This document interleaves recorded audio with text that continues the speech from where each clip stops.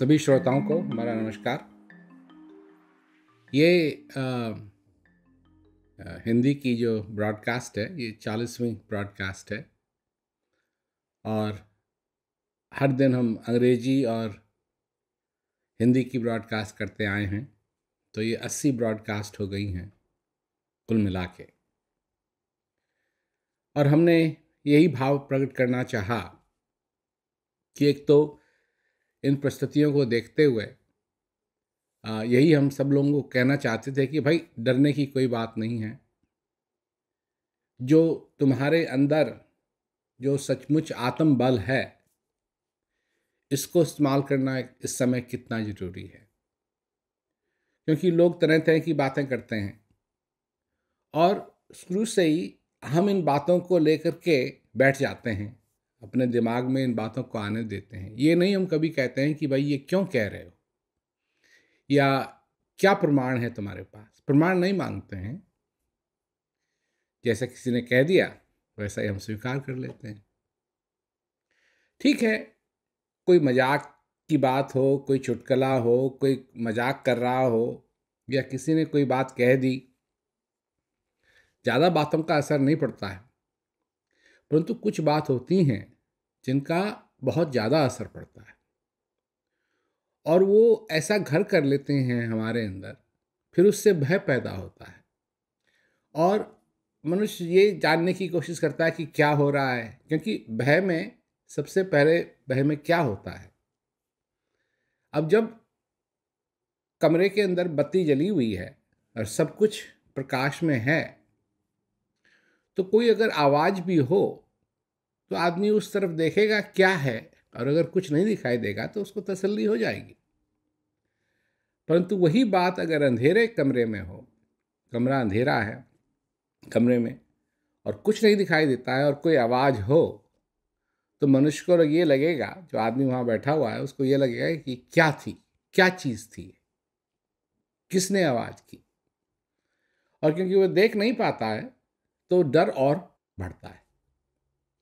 तो डर एक ऐसी चीज़ है कि मनुष्य को अंधा बना देती है। जब वो अंधा बन जाता है डर से तो वो कुछ भी कर देगा, कुछ भी अपने दिमाग में ले आएगा, किसी भी बात को समझ लेगा, किसी भी बात को वो सच स्वीकार कर लेगा, चाहे वो सच हो या ना हो।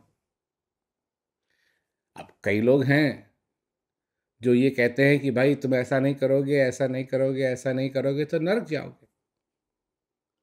नरक की बात करते हैं और फिर बात करते हैं कि तुम ऐसा करोगे ऐसा करोगे तो स्वर्ग जाओगे। तो नरक से लोगों को डराते हैं और क्या कहते हैं, थोड़ी बहुत जो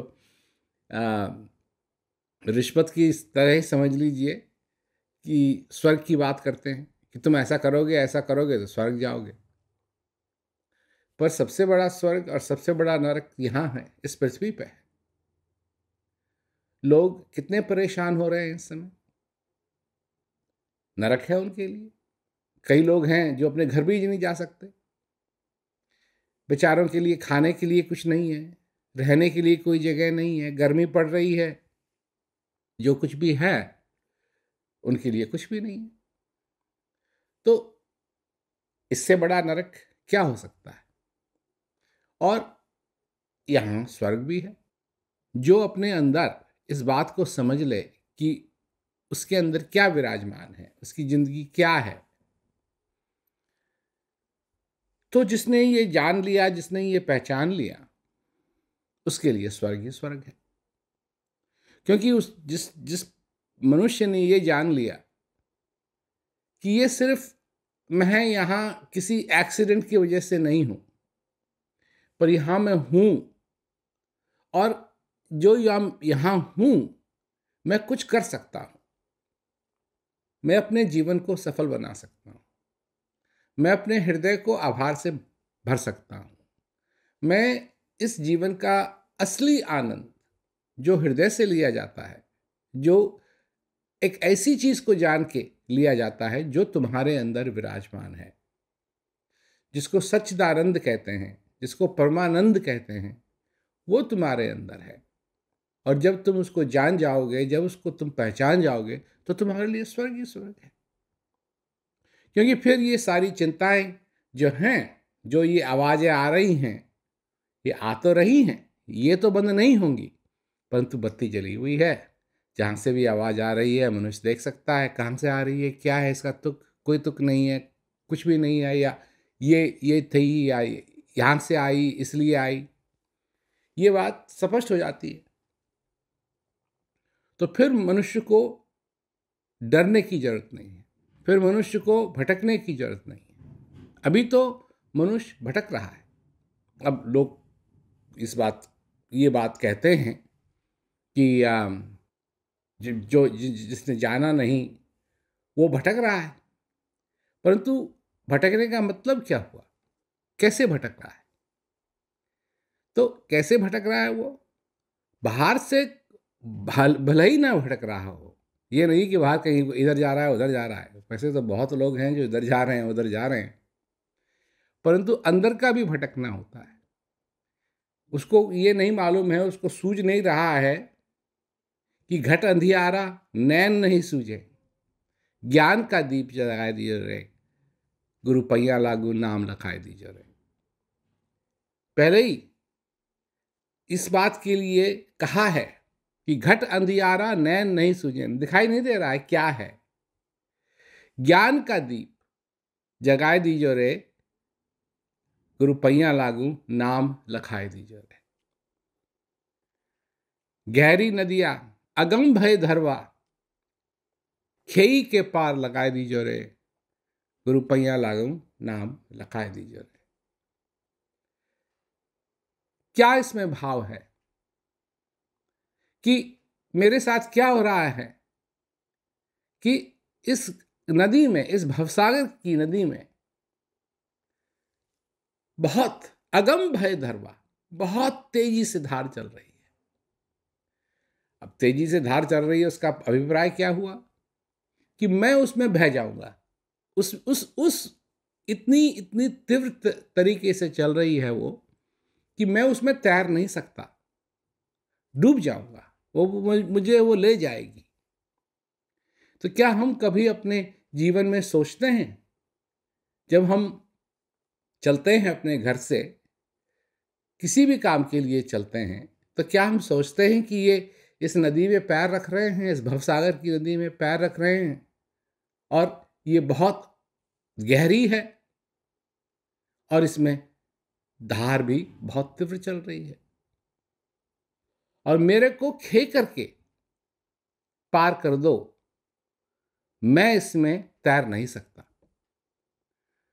तो समझने की बात है, भटक तो रहे हैं हम, पर अंदर भटक रहे हैं। समझ में नहीं आता है, क्यों है मैं अब ख्याल भी नहीं आता है लोगों को। ख्याल भी नहीं आता है।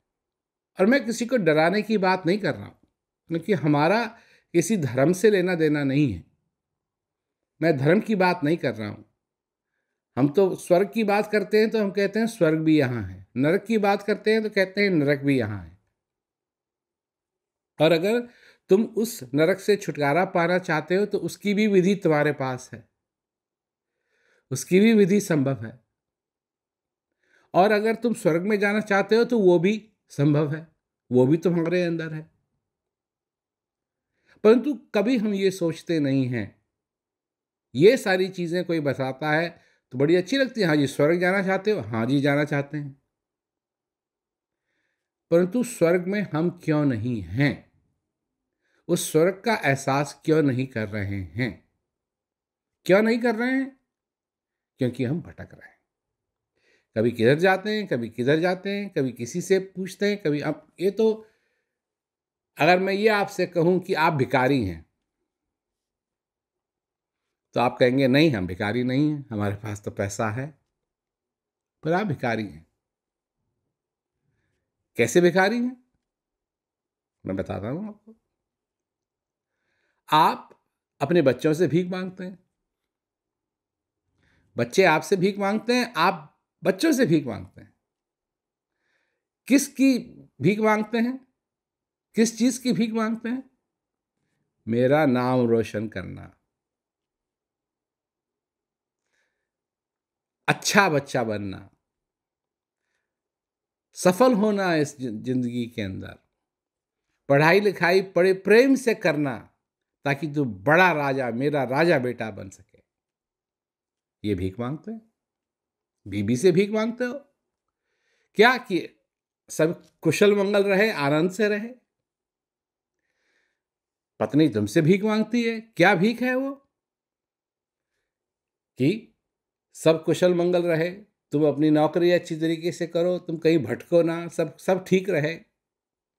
ये वो मांगती बड़े बड़े नेता, जब इलेक्शन का टाइम आते हैं तो नागरिकों से भीख मांगते हैं।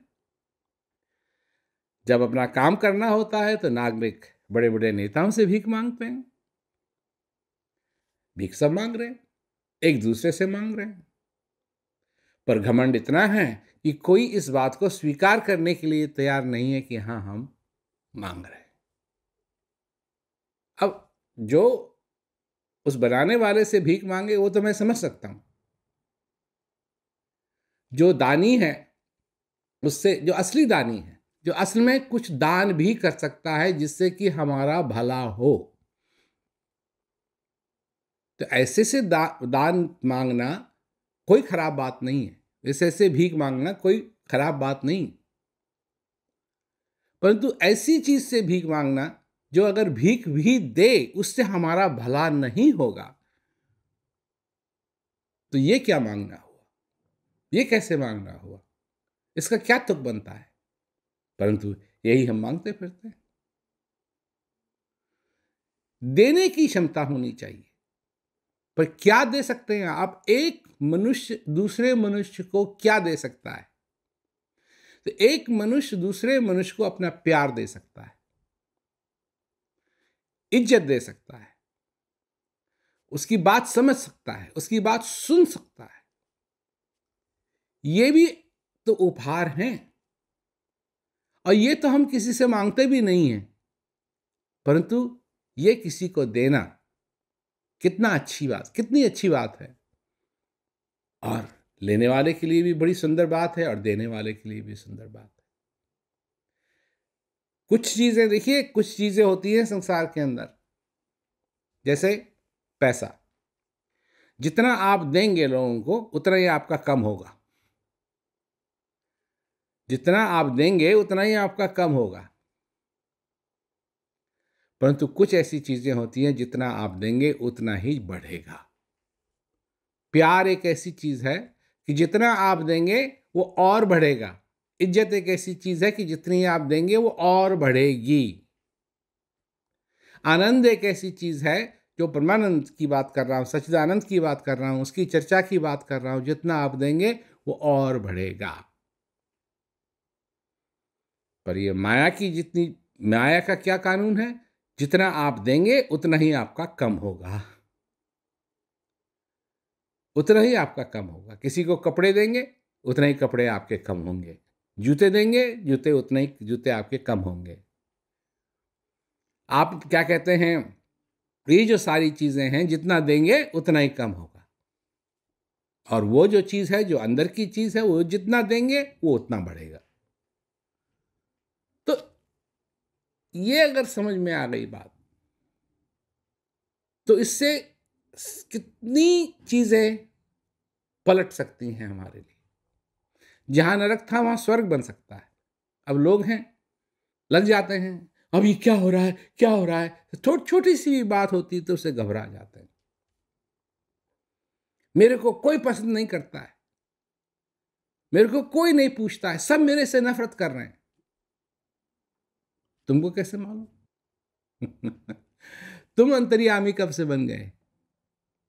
तुम अंतरियामी कब से बन गए? तुमको क्या मालूम कि वो क्या सोच रहा है?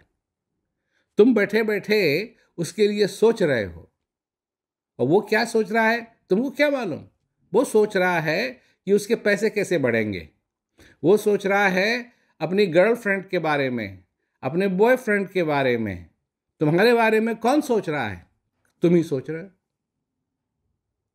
लोगों को वो बत्ती बुझी हुई है और क्या कहते हैं, ये मन भाग रहा है, भाग रहा है, भाग रहा है, कभी किधर की तरफ़ जाता है, कभी किधर की तरफ़ जाता है ये हो जाएगा, वो हो जाएगा, मैं कहीं की नहीं रहूँगी, मैं कहीं का नहीं रहूँगा, मैं ऐसा हो जाएगा, मेरा ये सारी वही बातें हैं। बैठे बैठे सब कुछ पकता रहता है, पकता रहता है, पकता रहता है, पकता रहता है, पकता रहता है। वही बीरबल की बात मेरे को बार बार याद आती है। एक बार अकबर ने बीरबल से कहा कि, बीरबल, मुझे पाँच बेवकूफ़ लोग लाओ। तो बीरबल ने कहा, जहाँ पर ना, मैं खोजना पड़ेगा, पता नहीं कहाँ मिलेंगे। कहा, नहीं, मेरे को पाँच बेवकूफ़ लोग चाहिए। तो बीरबल ने कहा ये भी अजीब अजीब अजीब बातें करते रहते हैं बादशाह। पर खैर, उनका उनका आदेश है कि पाँच बेवकूफ़ आदमी लाने हैं तो मैं जाता हूँ, खोजता हूँ। तो एक आदमी देखा, कहाँ खोज, खोजूँ मैं? तो बीरबल जा ही रहा था रोड पे। तो देखा एक आदमी पैर ऐसे हिला रहा ज़मीन पे लेटा हुआ, गड्ढे में गिरा हुआ, लेटा हुआ, और पैर ऐसे ऐसे हिला रहा और हाथ ऐसे रखा हुआ। हाथ ऐसे रखा हुआ। दोनों हाथ। तो बीरबल उसके पास गया, भाई तू कर क्या रहा है? कहा जी, मैं घर से चला था। मेरी बीवी ने कहा था कि खिड़की के लिए, हमारी जो खिड़की है घर में, उसके लिए पर्दा लाना है, उसके लिए कपड़ा लाना है। और वो खिड़की इतनी चौड़ी है। तो अब मैं उठ नहीं सकता हूँ, मैं गिर गया। अब उठ नहीं सकता हूँ क्योंकि इस, ये जो नाप है अगर मैं इधर उधर करूँ तो ये इधर उधर हो जाएगा तो इसलिए मैं नाप को तो मैंने यहीं कहीं रखा हुआ है और मैं उठने की कोशिश कर रहा हूँ, इसलिए मेरे पैर चल रहे हैं। पीर ने कहा, ठीक है, एक पहला वाला बेवकूफ़ आदमी तो मिल गया। दूसरा खोज रहा है कहाँ मिलेगा? तो उस पहले वाले को तो उसने कहा कि कल आना मेरे पास, मेरे से मैं तेरे से बात करना चाहता हूँ। दूसरा वाला तो आप खोज ही रहा था बीरबल। इधर देखा कि एक आदमी अपने गधे पे आ रहा है और बड़ा सा, क्या कहते हैं, बोझ जो गधे पे होना चाहिए, वो उसने अपने सिर पे रखा हुआ है और खुद गधे पे बैठा हुआ है। तो उसने कहा, भैया, तू क्या कर रहा है? कहा, जी, मेरे को मेरे गधे से बहुत प्रेम है और मैं नहीं चाहता हूँ कि जो बोझ मैं उठाऊँ, ये गधे पे हो। तो मैं क्योंकि मेरा प्रेम है गधे से तो मैं उठा रहा हूँ उसका बोझ। तो बीरबल ने कहा, ये दूसरा बेवकूफ़ मिल गया। क्योंकि वो गधे पे भी बैठा है और उसने अपने सिर पे बोझ लिया हुआ है तो गधे को तो उतना ही बोझ होगा। उसका भी और वो जो उसने सिर पे लिया हुआ है, पर वो सोच रहा है कि नहीं होगा। तो शाम का टाइम हो गया था, अंधेरा भी होने लगा, तब बीरबल ने कहा, कहाँ खोजूँ मैं? तो देखा एक आदमी, एक क्या कहते हैं, लाइट थी जो सड़क के किनारे लाइट होती हैं तो उसके नीचे वो कुछ खोज रहा है तो उसने कहा भी क्या कर रहे हो? कहा, जी, मैं अंगूठी खोज रहा हूँ। कहा, कब खोई अंगूठी? कहाँ खोई अंगूठी? कहा, मैं जंगल गया था आज और जंगल में अंगूठी खो गई मेरी। तो बीरबल ने कहा कि वो जंगल में खो गई है तो जंगल में खोजो, यहाँ क्या खोज रहे हो? कब जंगल में लाइट थोड़ी है? यहाँ लाइट है, इसलिए मैं यहाँ खोज रहा हूँ। तो बीरबल ने कहा, ठीक है, ये तीसरा बेवकूफ़ भी मेरे को मिल गया। पाँच बेवकूफ़ की बात थी। हंसता हुआ दूसरे दिन बीरबल पहुँचा और कहा, जी, आपके बेवकूफ़ सारे मिल गए। पाँच बेवकूफ़ मिल गए। पहले की बात बताई तो बादशाह खूब हंसा, कहा हाँ सचमुच में ये बेवकूफ़ है। दूसरे की बात बताई, कहा हाँ ये भी बेवकूफ़ है। तीसरे की बात बताई हाँ ये भी बेवकूफ़ है। पर बीरबल ने कहा, चौथा कहा कहा, हजूर, चौथा तो मैं हूँ कि मैं, आपने मेरे को ये कहा कि जाके बेवकूफ़ों को ढूँढने में, बेवकूफ़ों ढूँढने में लगा रहा। तो चौथा बेवकूफ़ तो मैं हूँ। और, अकबर ने कहा, पांचवा? कहा हजूर, गुस्सा मत होगा पर पाँच बेवकूफ़ आप हैं जो आप पाँच बेवकूफ़ों को चाहते हैं। पर सुनिए, इसका क्या मतलब है? ये पहला जो बेवकूफ़ था, क्या? किसी ने इसको कह दिया कि इतनी बड़ी चाहिए चीज़, और उसी पे लगा हुआ है। क्या अनुभव है उसका? कुछ मालूम नहीं। क्या हो रहा है उसकी ज़िंदगी में? कुछ मालूम नहीं। परंतु उसको ये बता दिया गया है कि खिड़की इतनी चौड़ी है और इतनी चौड़ी खिड़की के लिए क्या कहते हैं, पर्दा चाहिए, कपड़ा चाहिए तो वो उसको लिए हुए है। ये नहीं है कि गिर गया है तो उठ जाए, चाहे उसको वापस क्यों ना जाना पड़े और कोई और चीज़ से वो नापे, ताकि वो वहाँ पहुँचे और कपड़ा ला सके। ये तो हुआ पहला वाला। अब बोझ वाला, जो गधे वाला था यही लोग कर रहे हैं। सारी दुनिया कर रही है। बोझ रखा हुआ है अपने सिर पे, अपने कंधों पे। कंधे टूट रहे हैं, पर कह रहे हैं, नहीं नहीं, मैं किसी और को ये बोझ नहीं देना चाहता हूँ, अपने ही पास रखूँगा। है जी? और क्या कहते हैं, जो तीसरा था, वो तो सबके साथ है ही है। है कहाँ और ढूंढे कहाँ? कैसे लगेगी हाथ में? कैसे आएगा हाथ में? कैसे कैसे वो चीज़ समझ में आएगी? जो चीज़ घट में है, उसको कहीं और ढूंढ रहा है तो कैसे मिलेगा? और जो वो दो बेवकूफ़ थे, बीरबल, जो असली चीज़ को नहीं जानते हैं, जो नकली को ही, क्या कहते हैं, परखते रहते हैं, परखते रहते हैं, परखते रहते हैं तो वो भी बेवकूफ़ हैं। और वो इच्छा करने वाला कि हाँ बेवकूफ़ी क्या होती है, मेरे को ये मालूम होना चाहिए, क्योंकि जो मनुष्य नरक के बारे में ज़्यादा जानता है स्वर्ग के बारे में कम जानता है उस उसका क्या होगा? वो तो गलत सोच रहा है क्योंकि सोचना अगर उसको है तो स्वर्ग के बारे में सोचना चाहिए। जानना उसको कुछ है तो ये जानना चाहिए कि वो स्वर्ग कहाँ है। उसके अंदर वो स्वर्ग कहाँ है। तो अब ये क्या कहते हैं आखिरी वाली आ, इस सीरीज़ में आखिरी वाली ये ब्रॉडकास्ट है। और अब पेप की भी बात आई थी कि पेप ट्रेनिंग हो तो उसके लिए सारी चीज़ें इकट्ठा कर रहे हैं। और हम चाहते हैं कि प्रोग्राम भी हमारे हों तो अभी तो लॉकडाउन है तो अभी आ नहीं सकते तो हम सोच रहे थे कि वर्चुअल प्रोग्राम हो ताकि हम जैसे यहाँ हैं बैठे ऐसे ही सत्संग सुनाएँ पर वो पूरा आ, क्या कहते हैं प्रोग्राम हो। तो यही हमारी इच्छा है और इसके लिए हम तैयारी करेंगे। तो ये जो ब्रॉडकास्ट है, इस ये, यहीं ये समाप्त होगी और दिखाया जाएगा और चीज़ें और हमारे वीडियोस हैं, वो दिखाई जाएँगी। और जब तैयार हो जाएगा सब कुछ तो फिर हम वापस आपके पास आएँगे। तो सभी लोगों को मेरा बहुत बहुत नमस्कार। कुशल मंगल रहें और अपना ख्याल रखें।